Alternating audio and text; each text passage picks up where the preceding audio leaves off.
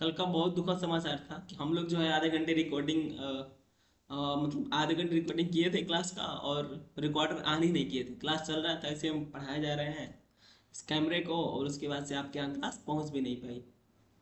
तो होता है कभी कभी चलता रहता है, ठीक है? अब ध्यान मतलब ध्यान से जाता है कभी कभी क्या करना है, ठीक है? या आपके साथ अगर ऐसा कुछ हो कि आप कुछ जो है बाय द वे मिस्टेक कर दे रहे हैं तो सब घबराइए नहीं। ये मानव का एक प्रकृति है, कुछ ना कुछ जो है हड़बड़ाहट में या उसी वजह से कुछ लोग भूल जाते हैं। चलिए हम लोग क्लास स्टार्ट करते हैं। कल बहुत मेहनत हुआ इस क्लास पर।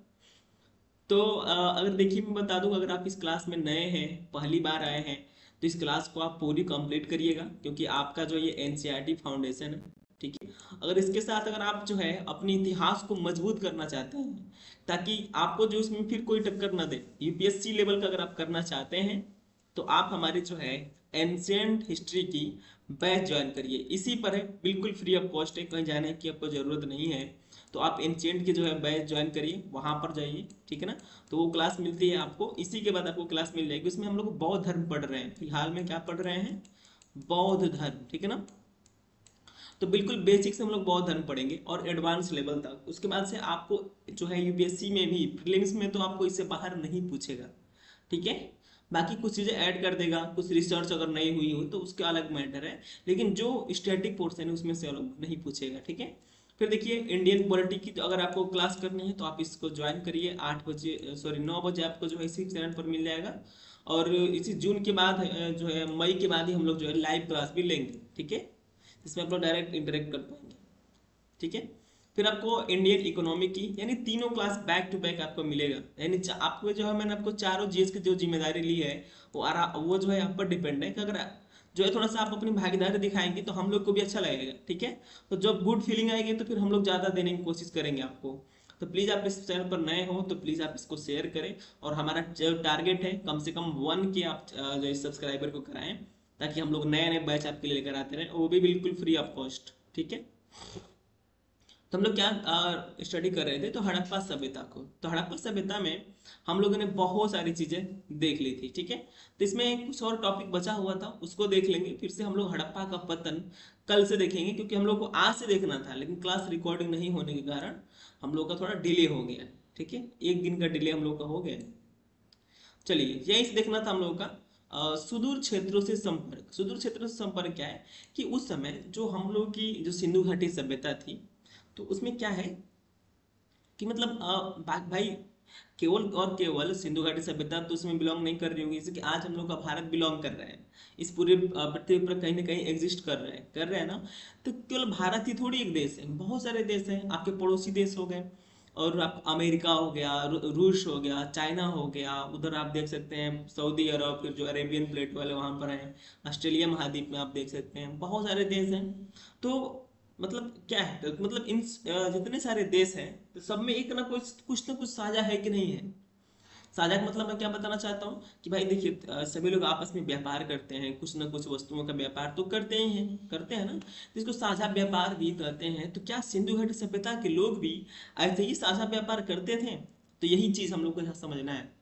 तो अभी आइए मैं समझाता हूँ, ठीक है? हाल ही में हुई पुरातात्विक खोजो जो खोज है, वो इंगित करती हैं कि तांबा संभवतः अरब प्रायद्वीप के दक्षिण पूर्वी छोर पर स्थित ओमान से भी लाया जाता था। तो जो मतलब ये बता रहे हैं कि जो तांबा है, कहाँ से लाया जाता था? तो ओमान से। ओमान आपको पता है ना? मैपिंग आप देखे होंगे ओमान वाला क्षेत्र। इसमें दिया हुआ तो मैं दिखा दूँगा। ओमान का जो थोड़ा सा नाम बदल कर दिया तो आप ओमान क्या करेंगे? तो मैपिंग में जाकर देख लेंगे, ठीक है? रासायनिक विश्लेषण दर्शाते हैं कि ओमानी तांबे तथा हड़प्पाई पूरा वस्तुओं दोनों में निकल के अंश मिले हैं। अब देखिए एक क्या है? ओमान हो गया, एक हो गया हम लोग का सिंधु घाटी सभ्यता, इसको मेलुहा भी कहते हैं, ठीक है? तो मेलुहा कहते हैं, अब अब इससे क्या समझ में आता है? देखिए, कुछ तांबे यहाँ से मिले हैं, कुछ तांबे यहाँ से मिले हैं, दोनों जगह से मिले हैं। तो दोनों में कॉमन क्या पाया गया है? दोनों में कॉमन ये पाया गया है कि जो तांबे की जो धातु है, उसके जो, उसमें जो मिश्रित किया गया है तो एक निकल नामक धातु है, उसको जो है मिश्रित इसमें किया गया है। दोनों जगह से जो है, दोनों में क्या कॉमन मिला है? तो निकल, ठीक है? निकल एक धातु है।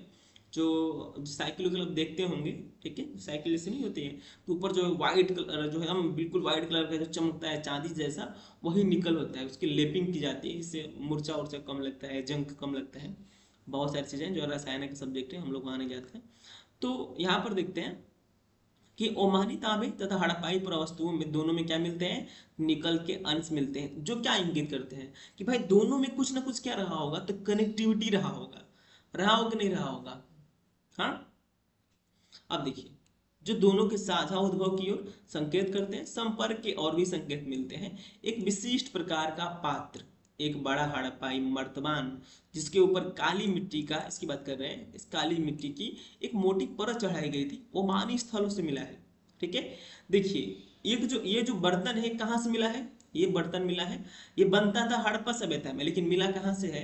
ये मिला है, वो ओमान से भी मिला है, ठीक है? ये बर्तन कहाँ से मिला है? ओमान से। तो कहीं ना कहीं ये भी, इसका भी क्या होता होगा? तो व्यापार होता होगा, क्योंकि इसमें क्या रखते थे? इसमें जो है तरल पदार्थों के रिसाव को रोक देती थी मतलब इसको जो है स्टोर करके इसमें कुछ सामान रखने के लिए रखा जाता था, ठीक है? इस बर्तन को। समझ रहे हैं? हमें यह नहीं पता कि इन पात्रों में क्या रखा जाता था। पर यह संभव है कि हड़प्पा सभ्यता के लोग इनमें रखे सामान का ओमानी तांबे से विनिमय करते थे। आप समझ रहे हैं? इसमें जो जो ये तांबा रखा गया है, अब देखिए, कहने का मतलब क्या है कि इसमें जो एक मतलब इतना पता है, कुछ ना कुछ इसमें तरल पदार्थ रखे जाते थे, ठीक है? तो हो सकता है कि इसमें शराब हो, दारू जैसी चीज़ें हो तो ये लोग क्या करते थे इसका? विनिमय करते थे, ठीक है ना? आ रहा है आपको? तो याद रखेंगे, आगे चलते हैं। तीसरी शताब्दी ईसा पूर्व में दिनांकित मेसोपोटामिया के लेखों में मगन जो संभवतः ओमान के लिए प्रयुक्त नाम किया गया। देखिये मगन क्या है? मकन इसको मकन में कहा गया है, मगन में कहा गया है। यही ओमान है, ठीक है? देखिए, जो ओमान का क्षेत्र, देखिए, ये क्या है? तो हम लोग का मेलुआ है, यानी सिंधु घाटी सभ्यता है, और इसका बॉर्डर कहाँ तक है? सुदकांगडोर तक है, यानी यहाँ पर। और मगन, यानी यही क्या है? ओमान का क्षेत्र है, जो ये वाला क्षेत्र है। और इसी का एक जो है, यहाँ पर स्थल मिलेगा, रसल जनेज। देख रहे कितनी कम दूरी है यहाँ से। ठीक है? आगे चलते हैं। ओमान के लिए नाम याद रखेंगे, मकन किसे कहा गया? मकन किसे कहा गया है? ठीक है? दिलमुन मकन मेलुहा मैंने आपको समझाया था पिछली क्लास में, आप इसको समझ लेंगे, ठीक है ना? आपको पता है, मगन आप जान लेंगे किसको कहा जाता है तो ओमान को। मेलुहा किसे कहा जाता है? तो आप कमेंट करके बताएँगे कि जो है मेलुहा तो सिंधु घाटी सभ्यता कहते हैं, लेकिन आप जो जो दिलमुन कहा गया है तो दिलमुन किसको कहा गया है, आप इसे कमेंट करिएगा। मैंने इसको पढ़ा दिया यहाँ भी, और मैं अपने जीएस क्लास में भी वहाँ पर पढ़ा चुका हूँ। हिस्ट्री का। आप दोनों साथ साथ में करते रहिए, ठीक है ना? अगर इसमें अगर आप नए हैं तो अगर इसे समझ में नहीं आ रही है तो आप क्लास सिक्स की एंशियंट हिस्ट्री देखिए। क्लास सिक्स की जो एनसीईआरटी देखिए हिस्ट्री का जो मैंने इसी चैनल पर पढ़ा रखा है, आप वो देख कर आइए, फिर आपको बहुत बेनिफिट मिलेगा, ठीक है ना? प्रयुक्त नाम, ओमान के लिए प्रयुक्त नाम था, नामक क्षेत्र से तांबे के आगमन के संदर्भ मिलते हैं। यह रोचक बात एक और मिलती है कि मेसोपोटामिया के स्थलों से मिले, जो तांबे जो तांबे मिले हैं, मेसोपोटामिया भी एक सभ्यता हुआ करती थी उस समय तो वहाँ से जो तांबे मिले, उसमें भी निकल के अंश मिले हैं। समझ रहे हैं ना आप लोग?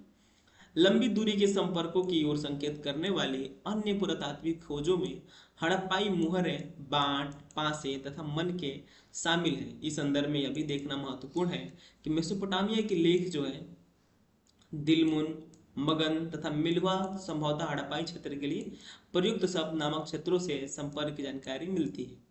ठीक है? यानी कुछ लेखों की जानकारी मिलती है। दिलमुन आप देख सकते हैं। अब देखिए दिलमुन दे भी दिया है। दिलमुन किसे कहते हैं? तो बहरीन को। अगर आपने कमेंट किया होगा तो अच्छी बात है।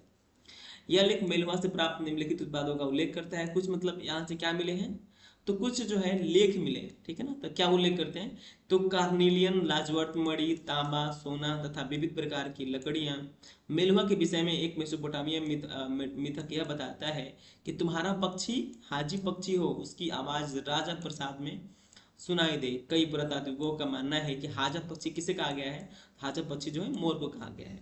क्या यह नाम उसे जो है अपनी आवाज़ से मिला था? ऐसा संभव है कि ओमान, बहरीन या मेसोपोटामिया से संपर्क, समुद्रिक मार्ग से था। आप समझ सकते हैं उस समय? तो जो ओमान हो गया, बहरीन हो गया तो यहाँ देखिए। अब ये क्या है? यही ओमान है। तो इसे संपर्क कैसे होगा? स्थल मार्ग से होगा या हवाई जहाज़ से? उसमें हवाई जहाज़ आपको देखने को मिलेंगे? कल्पना कर सकते हैं ऐसा। तो मुश्किल है। तो देख सकते हैं आप लोग इससे अगर जो है इसका, क्या कहते हैं कि अगर इससे ओमान से अगर इसको व्यापार करना है तो ज़ाहिर सी बात है, जल मार्ग का ये लोग प्रयोग करना जानते थे। यानी ना वो चलाते होंगे, ठीक है? ये दिलमुन आपको दिखाई दे रहा है। तो यहाँ से भी क्या करते होंगे ये लोग? तो समुद्र व्यापार करते होंगे, ठीक है? मेसोपोटामिया के लेख मेलुहा को नाविकों का देश कहते हैं। इसके अतिरिक्त हम मुहरों पर जहाजों और नाव के चित्रांकन पाते हैं। देख सकते हैं यहाँ पर, ये नाव के चित्र आपको देखने को मिलेंगे। यहाँ से ऐसे बना हुआ है, ठीक है? हम देख लेते हैं। मुहरे, लिपि तथा बाट। आज इस टॉपिक को पूरा का पूरा कंप्लीट कर लेंगे। फिर से हम लोग को कल से क्या देखना रहेगा? तो कल से हम लोग जो है सभ्यता का अंत देखेंगे, बाकी जिसके पिछला जो भी टॉपिक है, सारी चीज़ें हम लोग आज कवर कर लेंगे, ठीक है ना? समझते हैं आराम आराम से, क्या दिया है? देखिए, मुहरे लिपि तथा बाट, मुहरे और मुद्रांकन, मुहर और मुद्रांकनों का प्रयोग लंबी दूरी के संपर्कों को सुविधाजनक बनाने के लिए होता था। अब देखिए, इसमें क्या है? एक बार और पढ़ लेते हैं। कल्पना कीजिए कि सामान से भरा एक थैला एक स्थान से दूसरे स्थान तक भेजा गया। उसकी मुख जो है रस्सी से बांधा गया और गाठ पर थोड़ी गिल्ली मिट्टी जमा करके एक जो है उस पर क्या किया गया? तो अधिक जो है एक या अधिक मुहरों से दबाया गया, जिससे मिट्टी पर मुहरों की छाप पड़ गई। ठीक है? यदि थैले इस तरह के यदि इस थैले को गंतव्य स्थान तक, यानी जहाँ तक उसको पहुँचना है, अगर वहाँ तक वह ऐसे ही सुरक्षित पहुँच जाता है मिट्टी टूटती नहीं है तो यह माना जाएगा कि इस सामान के साथ क्या हुआ है तो छेड़छाड़ नहीं हुआ है। मुद्रांकन से प्रेशर की पहचान की भी पता चलती है। अब देखिए, आप रेलवे की यात्रा करते होंगे, ठीक है? यात्रा करते होंगे ना तो जो रेलवे की अगर आप यात्रा करते हैं, मैं आज आदमी की चीज़ बता रहा हूँ तो यात्रा करते होंगे। तो जिसमें सामान रखा जाता रखा जाता होगा ऐसे जैसे मालगाड़ी मान लीजिए तो देखेंगे कि जो उसमें ताला जो लगाया गया है उस पर एक मुहर लगाई जाती थी मुहर आज भी लगाई जाती है। आप जाए ट्रेन से अगर ट्रैवल करते हो तो आप ज़रूर थोड़ा ध्यान दीजिएगा तो आज भी देखने को मिलता है ठीक है ना? तो उसमें क्या होगा कि आ, क्या किया जाता है कि भाई देखिए उसका मतलब क्या है कि ये जो अगर मुहर जो है अगर ऐसे ही पहुँच जाए जहाँ उसको जाना है तो कम से कम ये माना जाएगा कि सामान के साथ छेड़छाड़ नहीं हुआ है। तो सिंधु घाटी की सभ्यता कोई भी व्यापार हो, एक सील पैक होता है कि नहीं होता है? ठीक है? आज तो सील पैक करने के लिए वो कागज़, बेहतरीन कागज़ का, प्लास्टिक का जो चिल्ली उली जो होती है, उसका यूज़ किया जाता है। ठीक है? बहुत सारी जैसे आप फ्लिपकार्ट से मंगाइए तो आपको बढ़िया से एक सील पैक मिलेगा। अगर वो सील पैक नहीं है तो आप उसे कंप्लेन कर सकते हैं। ठीक है? बहुत सारी चीज़ें हैं। जैसे आप फ़ोन मंगा रहे हैं तो फ़ोन पर भी सील लगा होता है। उसका डिब्बा खोलेंगे तो पहले सील होगा। और ओरिजिनल सील होता है। अगर ओरिजिनल सील अगर टूटा हुआ है तो कहीं ना कहीं आपके फ़ोन के साथ छेड़छाड़ हुआ है। तो देखिए, सिंधु घाटी सभ्यता के लोग जब व्यापार कर रहे थे उस समय तो उनको भी यही डर था। तो किसी मतलब कैसे भी क्या किया जाए, बीच में चोरी ना हो जाए सामान। तो उसके लिए लोग क्या करते थे, उस समय व्यवस्था लगाए थे। जैसे मान लीजिए, एक बोरा बोरा में इन लोग को सामान भेजना है। तो क्या करते थे बोरे को पैक कर देते थे। बोरे को जो है रस्सी से बाँध देते थे। और उसकी जो मुँह होता था बोरे का तो उस बोरे के मुँह पर क्या करते थे? तो गीली मिट्टी लगा देते थे। क्या करते थे? गीली मिट्टी। अब गीली मिट्टी का यूज़ क्या करते थे? तो गीली मिट्टी पर सिंधु घाटी सभ्यता वाले अपने मुहर लगा रहे हैं। मुहर यानी थप्पा मार रहे हैं। तो गीली मिट्टी पर वो छाप पड़ जा रहे हैं। यहाँ से आपको देखने को मिल रहा है। तीन फिगर हमको लग रहा है दो फिगर। देखिए ठीक है ना? ये एक फिगर हो गया दो फिगर हो गया। ये दो फिगर जो है यहाँ से आपको देखने को मिला है कि ये गिल्ली मिट्टी है, ठीक है ना? तो इस पर आप क्या मिलेंगे? अब किससे क्या क्या होगा कि भाई ये जो सामान है, अगर ऐसे ही पहुँच गया, टूटा फूटा नहीं है तो भाई कम से कम सामान सेफ़ पहुँचा है। तो समझ में आ रहा है आप लोगों को? मुहरिक चीज़ें उसमें कैसी हुआ करती थी? आगे देखते हैं। एक रहस्यमय लिपि लिपि के बारे में भी देख लें। यहाँ पर आपने क्या देखा? मुहरों के बारे में, ठीक है ना? मुहर की बातें दी गई है। यहाँ पर लिपि देख लेते हैं। लिपि में क्या कर रहे हैं? सामान्यतः हड़प्पाई मुहरों पर एक पंक्ति में कुछ लिखा है, जो संभवतः मालिक के नाम व पदवी को दर्शाता है। विद्वानों ने यह सुझाव भी दिया है कि इन पर बना चित्र आमतौर पर एक जानवर का हुआ करता था, जो किसके लिए उपयोगी होगा? अनपढ़ लोगों को सांकेतिक रूप से इसका अर्थ बताने के लिए। आज भी आप जो है कुछ सांकेतिक जो है वर्ड किसके लिए यूज़ करते हैं? जो भाई जो कम पढ़ा लिखा हो जो एक एवरेज पढ़ा लिखा होगा तो वो तो पढ़ सकता है ना, कोई भी चीज़, पढ़ लेगा, समझ लेगा। लेकिन कोई अगर अनजान व्यक्ति है, उस जो थोड़ा पढ़ा लिखा कम है, ठीक है अनपढ़ व्यक्ति है, ठीक है तो उसके लिए आप क्या यूज़ करेंगे? संगीतों का यूज़ करेंगे, ठीक है ना? अधिकांश अभिलेख संक्षिप्त हैं, बहुत सारे जो अभिलेख मिले हैं जो सिंधु सभ्यता से, हड़प्पा सभ्यता से, दोनों कह सकते हैं। तो जो अधिकांश मिले हैं तो उसमें क्या मिला है? तो जो है छोटे अभिलेख मिले हैं। मतलब छोटे छोटे अभिलेख मिले हैं आपको। लेकिन सबसे एक लंबा जो है, अभिलेख मिला है, जिस पर 26 चिन्ह है। यानी 26 इस पर चित्रकारियाँ की गई ऐसे जो मैं, जैसे सिंधुगढ़ सभ्यता में ऐसे चित्रकारी की आती थी, ये वो क्या है? मुझे भी नहीं पता। ये मैंने क्या लिखा है? मुझे भी नहीं पता, ठीक है? हालाँकि ये लिपि आज तक पढ़ी नहीं जा सकी है। याद रखेंगे सिंधु घाटी सभ्यता की जो लिपि है, वह पढ़ी नहीं जा सकी है। इसीलिए इसे प्राग ऐतिहासिक काल में रखा गया है। ये हम लोगों के ऐतिहासिक काल में नहीं रखा गया है, क्योंकि इतिहास क्या है? साइंस का विषय है। जब तक प्रमाणित नहीं होगा, तब तक इतिहास में शामिल नहीं होगा। समझ रहे हैं आप लोग? आगे देखते हैं। निश्चित रूप से यह वर्णमाली, ठीक है? मतलब वर्णमाला ही नहीं थी, क्योंकि इसमें चिन्हों की संख्या कहीं अधिक है। लगभग 375 से 400 के जो है बीच यहाँ पर चित्र आपको देखने को मिलेंगे। ऐसा प्रतीत होता है कि जब अब देखिए, एक चीज़ समझ लीजिए यहाँ तक, मैं बता दूँ। आपको अगर एक पेज दे दिया जाए सॉरी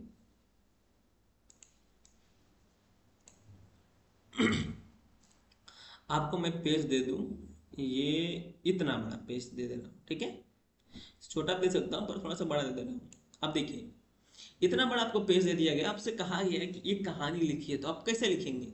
शुरू करेंगे कि एक राजा था, उसके जो है चार बेटे थे, उसकी चार पुत्रियाँ थी, चार उसके हुए भी तो होंगी, फिर यहाँ लिखेंगे, फिर यहाँ से शुरू करेंगे, ठीक है? फिर यहाँ से जाएँगे, फिर जो है एक राजा की एक वाइफ हुआ करती थी राजा बहुत अच्छा हुआ करता था लेकिन उसकी जो है थोड़ी थोड़ी प्रॉब्लम हुआ करती थी इंटरनल प्रॉब्लम ठीक है? राजा बीमार रहता था राजा उतर रहता था ठीक है? समझा रहा आपको? तो आप कहाँ से लिखेंगे? यहाँ से लिखेंगे और लाइन यहाँ से शुरू करेंगे। लेकिन याद रखिए कि सिंधु घाटी सभ्यता में अरे भाई टेढ़ा क्यों बन रहे हो यार? एक तो माउस का झंझट अलग है ठीक है ना?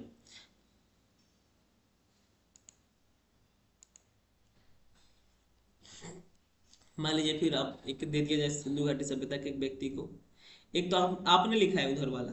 लेकिन अगर सिंधु घाटी सभ्यता के व्यक्ति को देंगे कहीं ना कहीं मुस्लिम बोर्ड में मुस्लिम लोग में ऐसा लिखा जाता है। और दे दिया जाए सिंधु घाटी सभ्यता के एक बच्चे को तो क्या करेगा? वो लिखना यहाँ से शुरू करेगा ठीक है? शुरू करेगा यहाँ से यहाँ लिखेगा। फिर यहाँ लिखकर फिर यहाँ से नहीं फिर वो यहीं शुरू करेगा ऐसे लिखेगा ऐसे लिख कर जाएगा फिर ऐसे लिखेगा ठीक है? तो यही लिखावट होती थी किसकी? सिंधु घाटी सभ्यता के लोगों की, ठीक है ना? इसी को क्या कहते हैं? तो पिक्टोग्राफी कहते हैं, ठीक ना? मतलब भाव चित्रात्मक जो है, सो कहा जाता है। यानी इसकी लिपि, अब देखिए, भाव चित्रात्मक क्यों? क्योंकि यहाँ पर वर्ड नहीं लिखा गया है, यहाँ पर फिगर बनाया गया है, चित्र किया गया है चित्र चित्रांकित किया गया है, चित्र बनाया गया है। मछली का, किसी व्यक्ति का, भाले का, बर्छे का, बहुत सारी चीज़ों का चित्र बनाया गया तो चित्र बनाया गया तो क्या बनाया गया पिक्चर बनाया गया है। पिक्चर है कि नहीं है? तो पिक्चर है तो पिक्चो ग्राफिक यानी पिक्चर के ग्राफिक की गई। यानी क्या है ये? तो पिक्टोग्राफिक है। इसे आप भाव चित्रात्मक भी कहेंगे। यानी चित्रात्मक वाली चीज़। है यानी चित्र द्वारा क्या किया जाना? तो भाव प्रस्तुत किया जाना। समझ गए आप लोग? तो इसकी लिपि को भी समझ लिए। इसकी मुहर आपने समझ लिया। इसकी लिपि समझ गए, सिंधु घाटी सभ्यता की। थोड़ा सा हम लोग बाट माप देख लेते हैं। इसके तराजू और देख लेते हैं।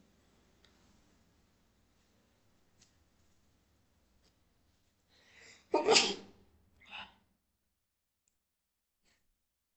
भाई क्या हो रहा है थोड़ा क्लास कर ले ठीक है, आगे देखते हैं बाट माप बाट माप मतलब क्या है? अब इसका मतलब ये है कि जो सिंधु घाटी सभ्यता के लोग हैं तो क्या वो बाट माप यूज़ करते थे? जैसे आज आप लोग क्या करते हैं? डिजिटल बाप माप बाट माप यूज़ करते हैं कैलकुलेटर का यूज़ करते हैं, बहुत सारी चीज़ें है। कि नहीं है? तो आप यूज़ करते हैं तो ऐसे ही सिंधु घाटी सभ्यता में भी जो है बाट माप हुआ करता था। तो वहाँ पर क्या हुआ है कि तो सोलह की गुणज में क्या मिला है? तो सोलह के गुणज में यहाँ से मिला है, बाट माप मिला है, बटखरे मिले हैं, ठीक है ना? इसका उपयोग किया जाता था कहाँ पर? तो आभूषणों को और मनकों को तौलने के लिए, ठीक है? यहाँ से धातु से बने तराजू के पलड़े भी मिले हैं। ये जब मैं क्वेश्चन पूछ देगा तो आप कंफ्यूज जाएँगे। सिंधु घाटी सभ्यता से क्या मिला है?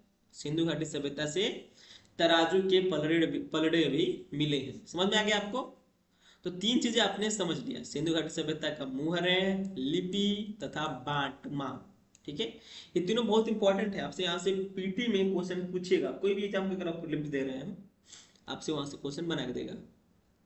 चलिए, हम लोग देखते हैं प्राचीन सत्ता। अब प्राचीन सत्ता का मतलब क्या है? यहाँ पर यह देखना है कि जो सिंधु घाटी सभ्यता के लोग हैं क्या क्या है?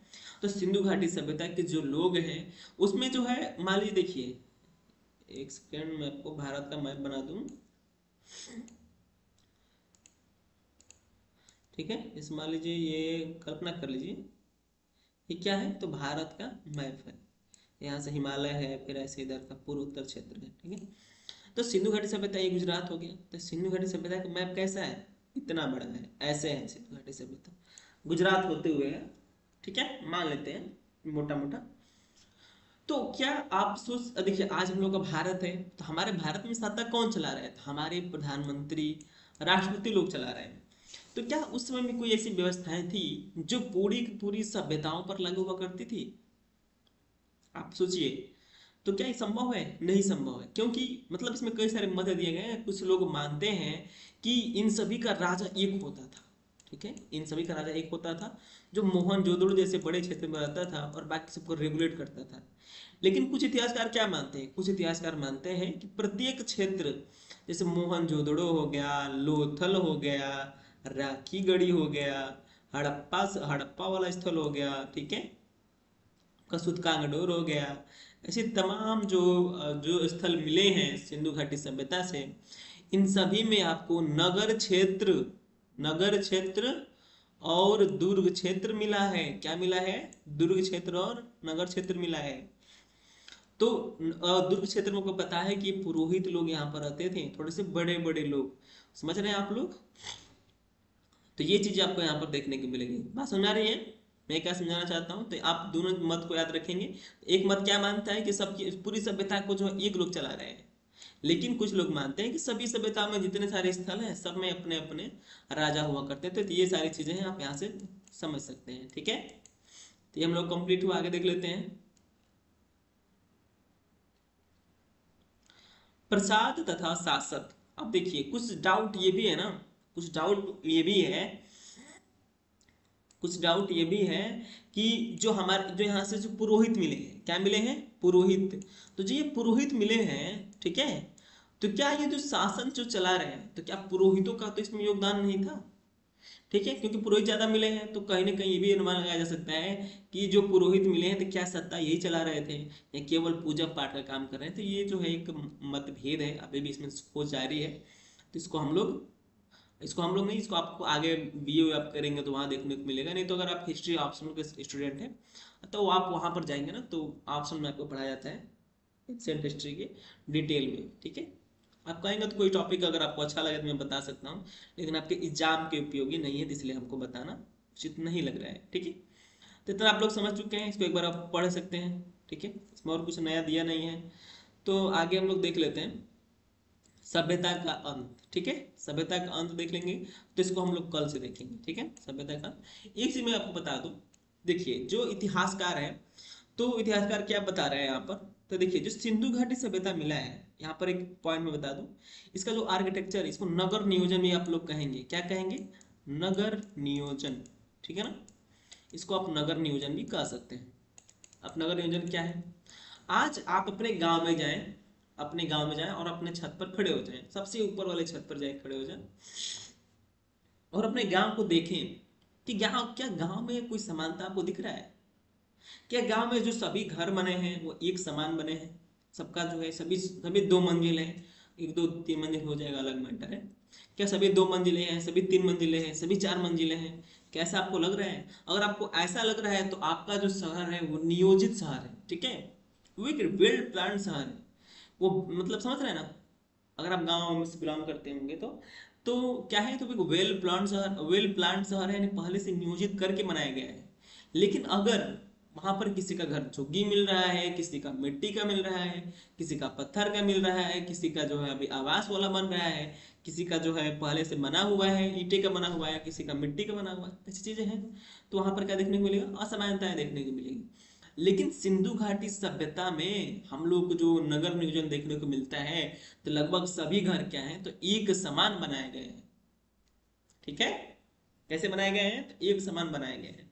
तो ये बात आप याद रखेंगे कि सिंधुगढ़ सभ्यता में जितने सारे जो घर मिले हैं तो क्या मिले हैं? एक जो है नियोजित बस्तियाँ मिली है। ठीक है? ये चीज़ आप याद रखेंगे। आ, आ, और क्या समझा रहा था आपको? देखिए आज का जो चंडीगढ़ है ठीक है? चंडीगढ़ का मैप खोलिए। ठीक है, वहाँ मैप का शहर का फ़ोटो देखिए, वहाँ पर आपको जितने घर मिलेंगे ना, वो एक बसाया गया शहर है, एक राजा के द्वारा, ठीक है ना? तो क्या है वहाँ पर? तो सभी घर क्या मिलेंगे आपको? एक समान देखने को मिलेंगे, ठीक है? तो आज के लिए बस इतना ही, कल से हम लोग देखेंगे सभ्यता का अंत। हम लोग सभ्यता का प्रोग्रेस बहुत देख लिए, इसका अंत भी कर देते हैं। तो कल इसका अंत कर देंगे हम लोग, ठीक है? थोड़ा सा बचेगा तो परसों अंत कर देंगे। आज क्लास में से इतना ही, बाकी कोई डाउट हो तो आप प्लीज़ पूछें। धन्यवाद।